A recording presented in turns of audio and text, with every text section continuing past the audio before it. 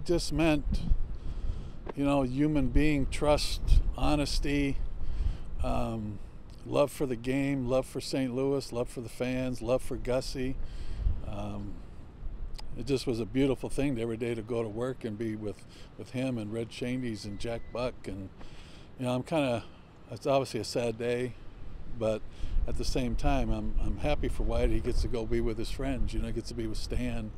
You know, he gets to be with all the all the greats, all the Hall of Famers, Gibby and Lou, and and all of them up there now. So along with Mantle and Yogi and Ted Williams, you know, plus his his idol idol is Casey Stengel. You know, I have a I have a picture in my house signed by him where he's on a little scooter with Casey Stengel driving it and Whitey's on the back of him holding on. Wow. You know, so um, those are all my motorcycle days. But uh, we got some fishing going on. You and Whitey did some of that.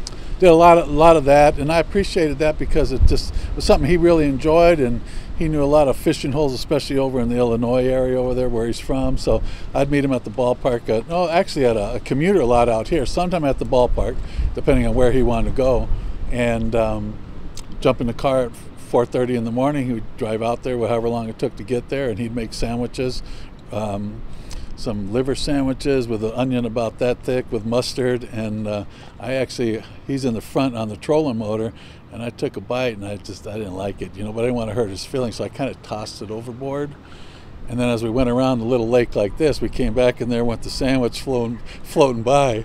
And I was like, oh man, I hope he didn't see. But how are you not going to see us? It's like this big white sandwich and I want to hurt his feelings, you know. But I had beer to wash it down and everything at 4.30 in the morning. Then he'd go home. We'd get back and we'd, he'd catch whatever fish we caught, he'd go up to his trailer, put the flatbed down, and he had a battery there with a, a carving knife, electric carving knife he hooked up to the battery and he'd carve the fish up and throw the guts in a bucket, and then ask me to take them down and feed them, you know, throw them into for the turtles, you know, and then he'd clean it up and then go home, drop me off, and say, go take a nap, and Mary Lou will have these ready for you in a milk container at your locker at the end of the game, frozen, you know, so really good, fresh. Have your wife cook them up, and they were delicious. Mm-hmm. They always are, but we always had fun and lost things, tipped boats over, and everything else, and I really enjoyed that. It, it kind of that along with like say going to Chicago and we went on the day of the game. You know, you went up there, go to the ballpark, play the game. You don't have to worry about all the other stuff. You know, get spend an extra day with your family. You know, it's like uh, so. Um, Missouri, is still here, and because you know, just my memories are all here. You yeah. know, and uh, he he loved you, even though you weren't Whitey Ball with all the speed. You were the one guy that made it click. He had to have you, and he loved you. Well, he, he knew how all that stuff worked, and uh, he knew me from the Giant days because he traded for me, and I finally got to see him when he wanted me, asked me to move to first base. He's like, I know you played third base. They wanted to make you a third baseman in San Francisco in the minor leagues. He knew I played, so he said, "Ah, first base will be no problem." Because I wanted, to, I was playing right field when I got here. It was Van Slyke, uh, Tito Landrum, myself in right field. He said, "They don't want to platoon those guys," but he moved to first base, and I didn't want to. He says, "Well, I know you played third with the Giants in the minor leagues. Go play third for a little while, first base. If you don't like it, I'll get you out of here. I think I've told you that story a million times. But then I told him I didn't like it about halfway through spring training, and he says, "Well, you look like a natural over there. If you don't like it by the All Star game, I'll get you out of there." And that, that was him in a nutshell, you know. And you know, I had the closest seat in the house to watching Pendleton and Ozzie and um, Tommy Herr and McGee and, and just winning out in the field, you know, Vince Coleman with Danny Cox and Tudor and Andujar and just Bobby Forsch and all those guys. May some of those guys rest in peace that aren't with us anymore, Darrell Porter and, and, and, and now the Rat, you know. So mm. we always call him the Rat. We didn't call him the White Rat. We didn't call him White. We just said Rat, you know, just flat out. Final thought. What made him so smart? Why was he better than everybody else? I, I think it had a lot to do with Casey Stengel. You know, he knew how to run the clubhouse. I mean, think about it. You go to work your first day of spring training, and you get to the season. You get to St. Louis clubhouse meeting. How how we're going to run it, and it took about five seconds. You know, it's like hustle, be here on time for your your uh, for the training, and I mean if you have to get anything medically done, you know, be here early and get your work done, and hustle. That's it. That's all I. He's like, that's all I ask of you. He never said anything else. We had a great, he had a great clubhouse, great group of guys. Treated us like men, and just go out and play. Lineup was the same every day, unless you were hurt or something. But basically, it was the same lineup every day. And the guys that were on the bench, which was smart, and a lot of people don't know that. Braun and Landrum or Van Slyke or whoever he was platooning, they knew their role. They knew that um, Steve Braun knew that he was a pinch hit off the bench and a good one. And Tito Landrum knew he could take that role and then go play right field or spot somebody. And Van Slyke knew that. I always thought Van Slyke was a starter from the beginning, anyhow, you know, so um, full time player.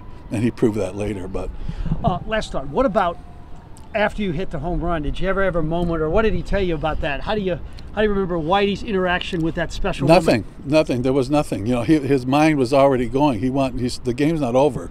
You know, so he still had to get the matchup he wanted, and had you know he had Dayley coming in, and you know he just he's just there. And and we all like that. As professionals, you go in there, it's not over with. You know, anything could happen. It's not like we had a 10 run lead or something, you know, like that, you know. So um, they're playing on the road. They have the last at bat. They have a good team.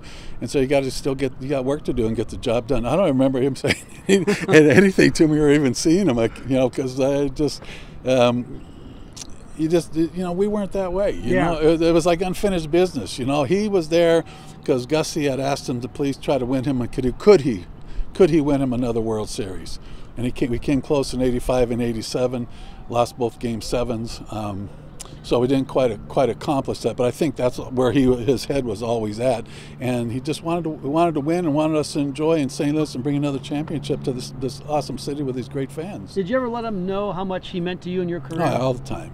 Yeah.